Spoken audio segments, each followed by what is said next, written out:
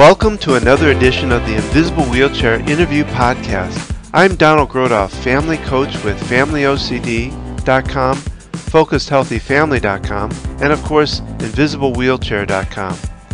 In the Invisible Wheelchair interviews, I get the wonderful chance to interview some of the experts with obsessive compulsive disorders, professionals that treat OCD, people who are going through or have been through OCD, parents and caregivers of those suffering from OCD, and of course anyone that advocates for treatment of OCD.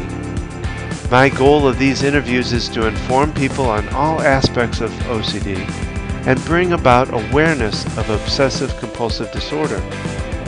Please remember that I am not a doctor, therapist, or counselor, and the content, information, resources, and ideas that are talked about and brought up here in these interviews are not necessarily the views and opinions of myself, Family OCD, Focused Healthy Family, and Invisible Wheelchair Podcast, and I always recommend to seek additional professional help in finding solutions for yourself.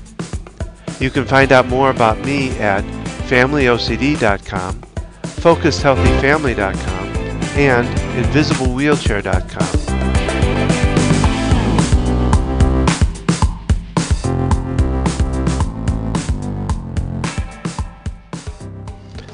This interview podcast was recorded May 8th, 2018. Today I have the honor of introducing you to Rachel Feenstra, who is a mother advocating for her son's OCD. Rachel lives with her husband and four kids in Grand Rapids, Michigan. Her oldest is a boy, and then she has three girls. Her family enjoys animals, and they have a dog, eight chickens, and five guinea fowl. Her son was diagnosed with OCD in the fall of 2016, and since then she has been committed to helping him fight the OCD bully and spreading the awareness of OCD.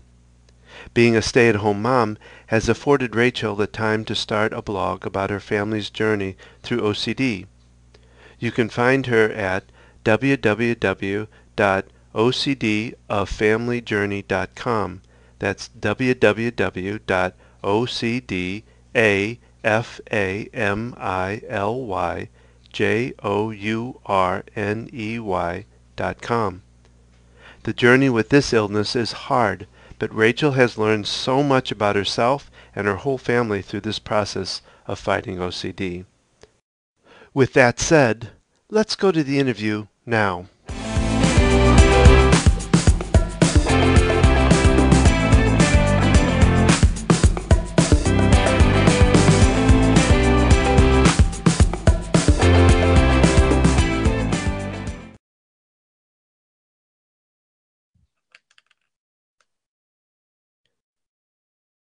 So, Rachel, I want to welcome you to the Invisible Wheelchair podcast, and I, I, really thank you for being part of this.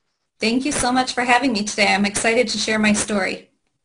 Well, thank you, Rachel. I, now, what I'd like to do uh, for my audience to get more of a kind of a personal view of you is uh, ask you to kind of tell a little story about yourself, uh, how you got involved with OCD or how what, what's going on with your family. So if you could share a story, that would be wonderful. Okay, sure. Um, I will start with talking about my son. He is the one who was diagnosed with OCD. We've always struggled with him and we've gone to so many different places as he's grown older because we always knew that there was something going on, but we weren't sure what it was. We got several different diagnoses. In the end, we just still didn't feel like we had gotten to the bottom of who he was and what he was struggling with. But one particular summer that was really hard for us was when he was eight years old. He had always had a problem with his little sister ever since she was born, but we started to notice that he was getting to the point where he wouldn't even touch her. He didn't want to be around her. He acted very, very mean to her. We started to wonder what's going on here by the end of the summer, he was at the point where he would spend a lot of the day in his bedroom just to get away from her. And I remember going to a doctor I asked the doctor, what do you think is going on here? We can't function like this as a family. And I said, do you think it could be OCD?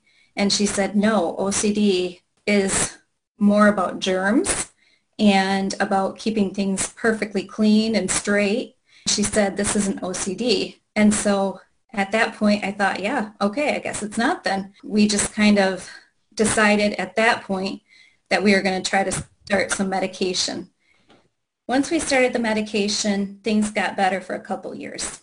When uh, when did you then figure uh, that it was OCD, or how did you find out or come about with that it was OCD? Okay, so then it was a couple years later, and he had been on the medication for a while, and things had been going well. And it was another summer. We started to notice him retreating back into his bedroom again. We have a pool at this house. We had moved by then, and we have a pool. We noticed that he didn't want to swim in the pool ever, which we thought was odd for a, you know, 10, 11-year-old boy. So we thought, well, that's odd. What's going on here? So we started to just sort of pay more attention to him. And we noticed that things were getting really bad between him and his sister. Before, my husband had always gotten to the point where when he noticed that my son didn't want to be around his sister, he would make him touch something of hers, which now we know is ERP, but we hmm. didn't know it was ERP when we were doing it. So my husband started saying, okay, we need to expose him to her a little bit more now. And so he started to do that and it got worse and worse. And instead of that helping, it got really bad. Finally, one night after he blew up on us because I had touched her and then I touched him, we got to the point where we said, okay, something is going on here and we don't know what, but we can't live like this as a family. We need to do something about this. So then I scheduled an appointment met with a counselor who said, I think that maybe what you should do is you should get him tested for OCD just to see. So we went to a psychiatrist who did the testing and we found out that yes, he did have OCD. At that point, then it was a matter of what do we do now? We thought it was pretty great when we learned more about ERP. We thought, wow, this is pretty cool that we've been doing this without even realizing it. But obviously we're at the point now where we needed to go to a professional for help. So I went online and Psychology Today has a really nice therapist finding tool. So I looked in there for a therapist that works with kids with OCD in our area. And I came up with about three or four of them and I made several phone calls. And I just said to my husband, well, I guess the first one that calls back we'll go with. So that's what we did. The first one that called back we okay. went with. And he's been amazing you then um, felt like you needed even more than that, and, and then you came about Rogers. Just for my audience sake, I want to understand Rogers Behavioral Health Center. They specialize in OCD, but they also work with other disorders. There's locations all over the United States, and they're very well known in the OCD world uh, for OCD treatment and being able to handle, um, I guess you'd say, maybe a little tougher cases. Tell me what, it, what, what your reasoning was for co- going to Rogers and then what it was like to actually bring your child to Rogers. Sure. So that was, it was a journey because we thought, oh, we'll, you know, start meeting with the therapist and things will go well and, you know, maybe four or five months from now we'll be doing really good. At that point, we didn't really know much about OCD. Since then, we've learned a lot. We realized that um, they're never going to quite be doing good. They'll just learn how to cope with it. So we started to see this therapist twice a week. Our son would not acknowledge that he had OCD. To get somebody to fight OCD is tough enough as it is, but to get them to fight it when they wouldn't even acknowledge that they had it and they thought they were completely fine, that's where it was like, okay, what do we do now? He was walking around school at this point with his arm covering his nose because he was so worried about all the contaminants that would get into his nose if he didn't cover his nose. And so we started talking to the therapist a little bit more about, well, what are we going to do if it's not working to meet twice a week? And that's when he brought up Rogers. And my heart just sank. And I remember thinking, I think we're going to have to do that. But I just, I wouldn't give up hope. After a few months of meeting with this therapist, he finally sat me down and he said, I think you need to at least look into it. You know, there's a wait list. So why don't you just look into it and see what you think? So I called them and went through the interview process and they said, yep, we definitely think that he should come here. We will put him on the wait list. So then it was just a matter of waiting. As we waited, I wouldn't give up hope. Kept thinking maybe, just maybe one of these days, he will admit he has it and he will want to fight it. That just didn't happen. We got to the point where um, Rogers ended up calling us and we said, you know what, before that, I think we'd feel more comfortable trying a partial program. And so that was last summer. We ended up driving down to Chicago for four weeks straight, he and I, to do this partial program. After that, he was doing okay. We couldn't keep on, you know, driving like that. We couldn't keep on um, separating our family so much. It was just getting to be too much for me to be leaving every single week. I have three daughters and my husband was trying to carry everything at home and it just was getting too hard. We called Rogers back and said, okay, I think we're ready. And they said, okay, we will put you back on the list and you'll get the next bed that opens up for boys. A couple weeks later, we got a phone call and it was a Friday afternoon. They said, he can come Tuesday. And we, we were thinking, what, already? That is so fast. And there was so many things to get together.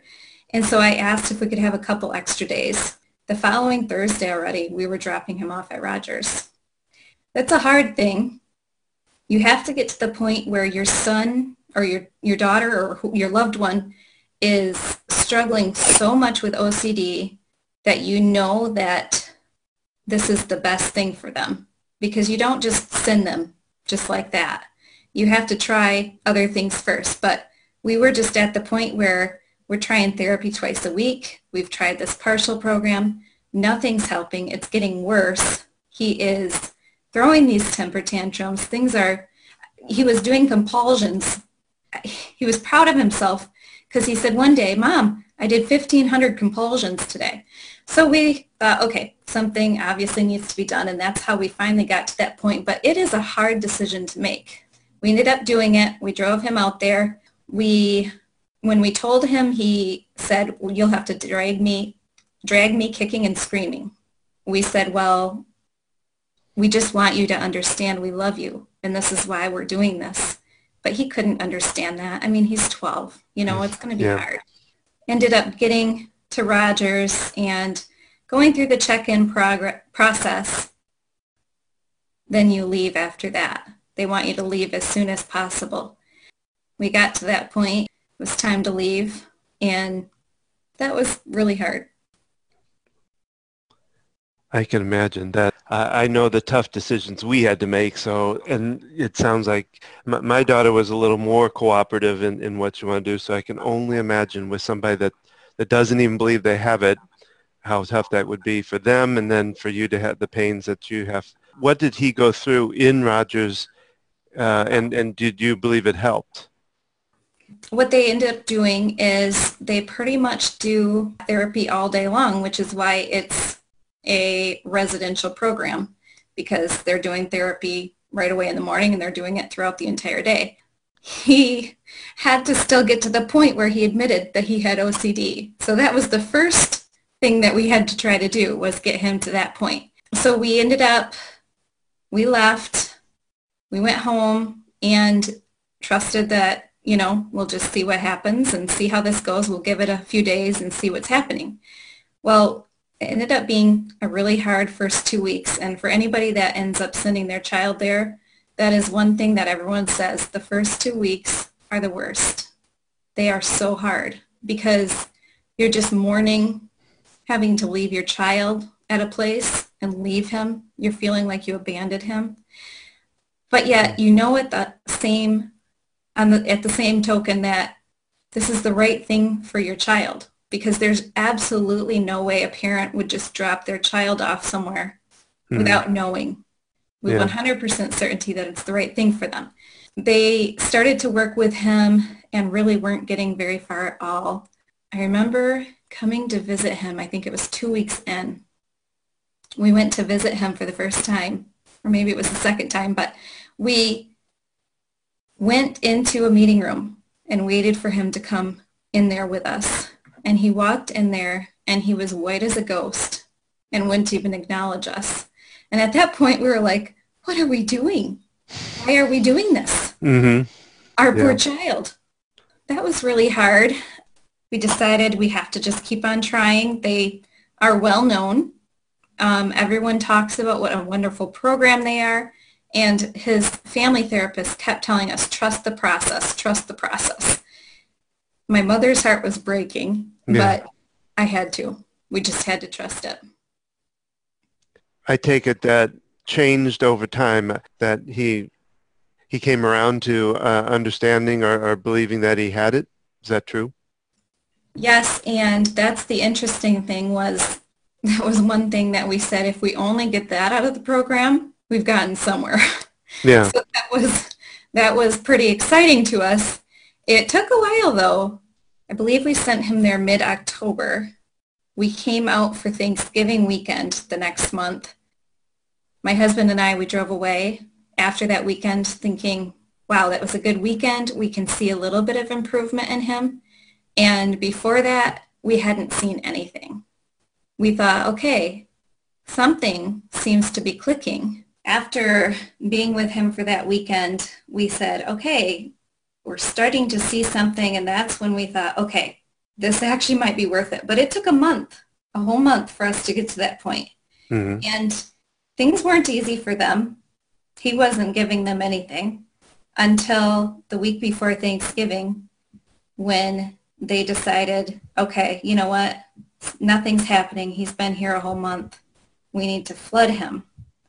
So flooding him meant basically taking his sister's things that we had sent along for the exposure therapy and rubbing it all over every single surface in the living area and then also rubbing it all over his bedroom.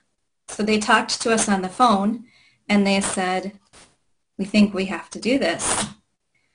And that was another bad day. I remember getting off the phone from that meeting because we gave them permission and thinking, my son is five hours away and they are doing something to him that to him is torture.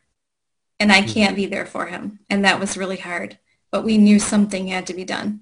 Otherwise, we knew we'd take him home and things would just be the same way. They told us to try to keep in touch with him that day, see how things were going. They warned us that sometimes when they do that, kids do have to go inpatient because they sometimes will lose it on the therapist. Things went okay when they flooded him for us. He screamed at them. He was angry at them. It went okay as far as by the end of that day, after I'd called him several times and told him how much we loved him and how we hate this just as much as he does, he actually at the end of that last phone call said, I love you, Mom. And I thought, whoa, okay, Yeah. wow, we're getting somewhere. Where has it gone now from where he's at Rogers? How has it gone? Where did he end up there? And then how did, how is it going now? So yeah, so after that Thanksgiving weekend, we had a lot of hope. And the next several weeks were basically dedicated to get him, getting him home because I had always said from the day that we dropped him off there, I said, I want my son home for Christmas. And I understood that that's not possible. You can't just say, well, he's coming home now because it's Christmas. But that mm. was our goal. And for me to send my son there, I had to have a goal. For me, the goal was Christmas. And so they looked at me that first day and they had said to me, don't expect that. But I wouldn't give up.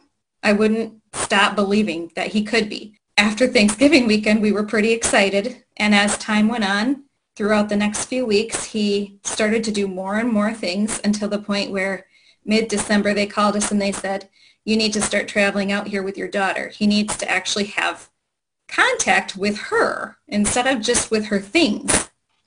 So for two weeks straight, my daughter and I went out there. We, we would go, you know, at the beginning of the week and come home at the end of the week. We stayed at the Ronald McDonald House that's in Milwaukee, and we would travel there every day, and he would do exposures with her. That was in the morning that they did their ERP time. They had two hours every morning that they do their ERP time. So we would make sure to be there on time for that.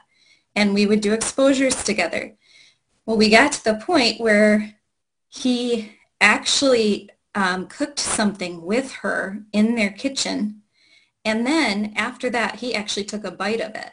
And that was like amazing. Amazing. Mm-hmm. I almost cried. But I was trying to play it cool because he got a little annoyed with my, you know, what's the word? The mom, the mom emotions.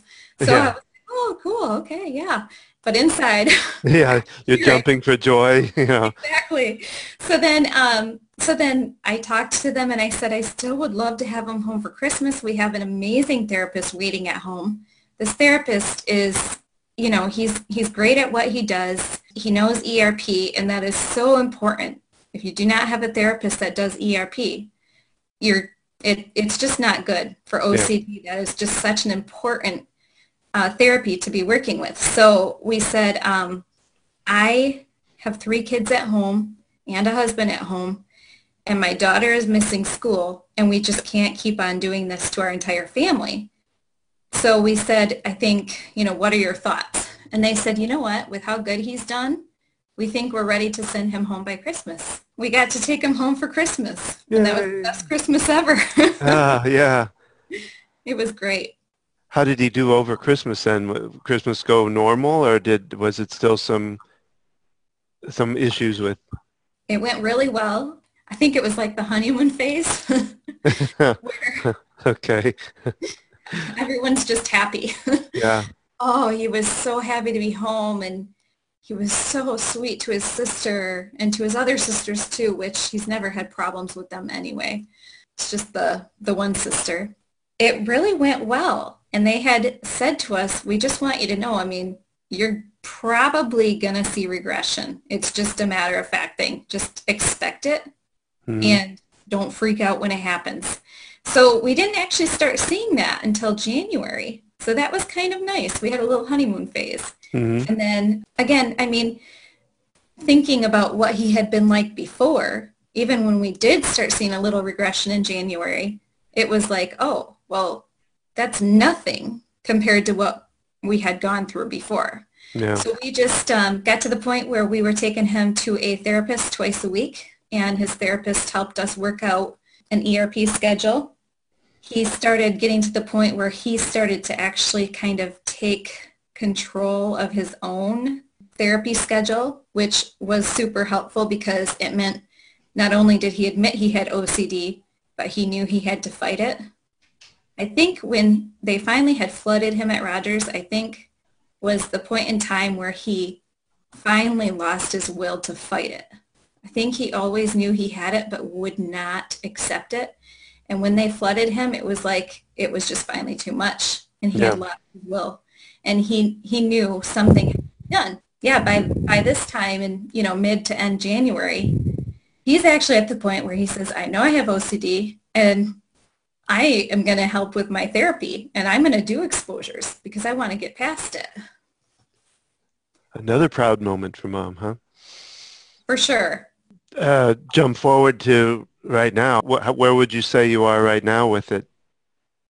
So right now I would say we are not as far along as we would probably hope to be, but yet when you have, I have diary from back, I journaled back in last year during the first few months of 2017. And when I look at those compared to now, I think, okay, we're doing good. He's actually at the point where he will touch me after I've touched her. He will touch her for exposures. He's not at the point where he will touch her in just everyday life and be super thrilled about it. But yeah. he knows he has to do it for exposures and he does it he willingly does his exposures. We're just at the point where we feel like a therapist in town is helping and we are just going to keep on slowly but surely fighting this. Well, that sounds, again, in comparison to the beginning, it sounds very good. So, and it sounds like he's on a good road. You've had the Rogers experience. I have not. I, I would love to know some of the lessons you believe you've learned that you could pass along to those that are maybe in that position you were back at the beginning what would you say to them about Rogers, about any of the lessons you feel like you've learned? That maybe it's about Rogers, maybe not. Yes, we've definitely learned a lot about OCD. A couple of things that I would say. First of all, I would say for anybody who doesn't quite understand what it's like, OCD is an all-consuming thing, and it is something that takes over an entire family. It doesn't just affect the person who lives with it or who has it, but it also affects the entire family and it can wreak havoc and definitely needs to be dealt with. We learned early on as a family member, you are not allowed to accommodate. And a lot of times with OCD, what family members do is it's easier to accommodate and help them with their compulsions because then if you do that, it'll go away for a few minutes. But we learned actually accommodating is feeding into it. Mm-hmm. So that was a lesson that we learned through this whole process. As far as people who are considering Rogers, I would say that I'm probably not the best person to ask because I, even though they helped us so tremendously, it was just really hard. And that part is still for the, at the front of my mind. Hmm. But yet on the other hand, you have to put all that aside yeah. and you have to realize that they really do help. I'm on a Facebook group of parents who've had kids at Rogers or currently are at Rogers and every single person says they saved my child's life. When you get to the point where you can't live the way you're living anymore, then it's really worth looking into, but it's going to be really hard. One thing that I think would help is if you had a outgoing child, because our son, it turns out we, we knew he was not outgoing, but he really, he didn't flourish in this kind of an atmosphere. He didn't enjoy the nights with the kids, you know. He didn't really want to make friendships and stuff. Whereas, you know, a lot of the girls, I would see them, if, if I was visiting, I would see, you know, they'd be painting each other's fingernails and, you know, doing things like that. Some kids flourish. They love that time. Obviously, it's hard for no, anybody. Some kids do okay as well as that goes, as far as that goes, but our son just is not a social person, which we actually ended up finding out after he got discharged from Rogers, we had some further testing done. We found out he is just um, on the autism spectrum. So that explained to us why socially he had a really hard time there. Yeah. But in the end, yes, it is, it will help your child. There's no doubt about that. But it's going to be really hard. Well, the last thing I'd, I'd like to do for you, Rachel, is um, if you'd like to, if somebody was interested in learning more about you or, or somehow maybe getting in contact with you, uh, what's their best method for doing that? Because I believe you have a podcast you, or a, a blog that you do, correct? Yes, that's correct. I decided after learning all the things that I learned about OCD that there needs to be more awareness because you hear a lot of people using the, the term, I'm so OCD. oh. And, oh, yeah, I know that one too. I get kind of flustered by that myself. Yes, and it didn't used to bother me, but now it bothers my son, so now it bothers me. Uh, he says, Mom, they don't even know. yeah. They don't even know what it is to be OCD. And so, yes, there needs to be more awareness because think back to when he was eight and the doctor said to me, no, I don't think it's OCD. That is a doctor who is telling me this. There needs yeah. to be more awareness out there. And so I decided the first thing that I would do to spread awareness is start a blog. So you can find me at www.ocdafamilyjourney.com and you can contact me through there. And I'll also have that up there for my audience to find on the uh, Invisible Wheelchair podcast site and also on the Family OCD com site. So that information up there. I also I'm going to look up the Facebook group and put a post on that too because I think I, I, I believe very much in that's why I'm doing this and the same thing you're talking about getting the awareness out finding resources because I'm sure you probably found at the at the beginning of this not know even knowing what it is and then what to do where to go who to turn to uh, is that would that be correct for you too Yes, I would say for sure. Um, you can't just go to just any therapist because yeah. traditional talk therapy does not work with OCD. It Yeah. just doesn't. Um, traditional talk therapy feeds more into it. And so you need, yes, definitely there needs to be more information out there for parents who are finding out that this is what they're dealing with and they need to understand that you know ERP is the gold star treatment for OCD. If you're not doing ERP, you're not really doing anything, to be honest. Yeah. So yeah, the, there's a OCD treatment center here in Charlotte, and the, the doctor there, Dr. Jericho. In fact, he I've interviewed him on this podcast. He said that he he ins- he insists on all his anybody that comes in, they need to be doing ERP, uh, if you know, unless unless they refuse. Well, Rachel, I very much appreciate you being part of this. It's been a very good conversation. You really, especially in talking about Rogers, because I had not had that on here yet. So I very much appreciate that, and thank you for being on here. thank you so much for having me. And one last thing, if I may. Sure. I'd like to share that I um, came across you online and found out about the Invisible Wheelchair podcast. And I just have to say what an awesome name that is. I just think that's great to say it like that because that is one thing that I think with mental health issues, people can't see it. Yeah. And it's very easy for people to make judgments and it's easy for them to say, oh, well, you know, maybe that parent just needs to discipline more or something. You know what? Yeah. I, we had a we had a, a doctor we were working with that told us that we were just not good parents and we needed to put a little more structure and discipline in that girl. That's Which so just- awful. which just about you know I, I I almost had to be held back a little bit on that one. Uh, so yeah, and you know, like you said, thank you for that. I appreciate that that little uh, testimony or whatever you want to call it, because I, it was very true for us. Is that if if if we could have got my daughter out in, in public during her worst time, you wouldn't have been able to tell it. You wouldn't know anything was wrong. You know, and because that's one thing I think about OCD is O- people that have OCD tend to, I don't want to say lie about it, but they tend to cover it up. They, they tend to find any way they can to hide the, the symptoms and hide the compulsions and all of that. So, Yes.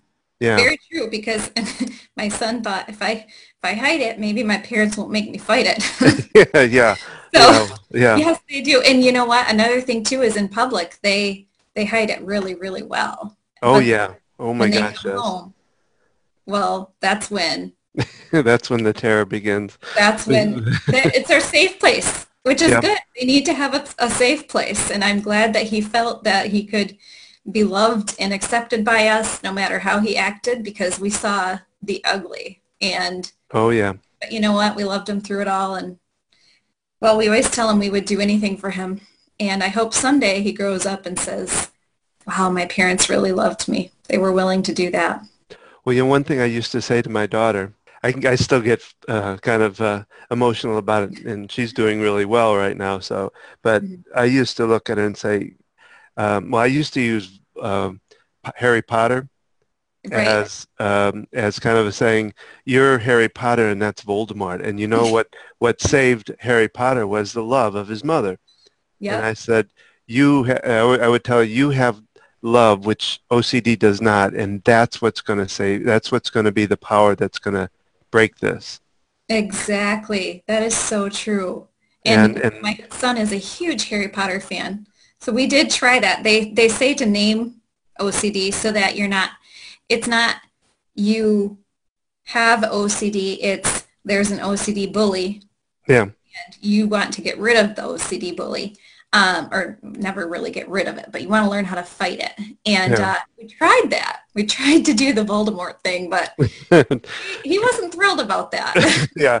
Well, But- yeah, it took her a little while to to take that on, but yeah, I mean, she didn't fight it when we said it, but she didn't take it on right away. But eventually, she did. But I always, I always came back with the the thing that's going to be your strength. Your strength is your love, and that was always, you know, I thought that was a for her. I think that was a pretty powerful message. So That is very true. Yeah. Well, we we could talk about this. I could talk about it all day. So uh, uh, once again, I just want to thank you. Uh, it's been an enjoyable conversation. I appreciate you being on the podcast. Thank you so much. That concludes this interview podcast. Please leave me a comment or question below.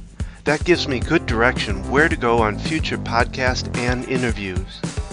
I would love to hear your invisible wheelchair stories if you are willing to share it. If you would go to invisiblewheelchair.com and click on Tell Your Story. I want to remind you that OCD, Obsessive Compulsive Disorder, is treatable.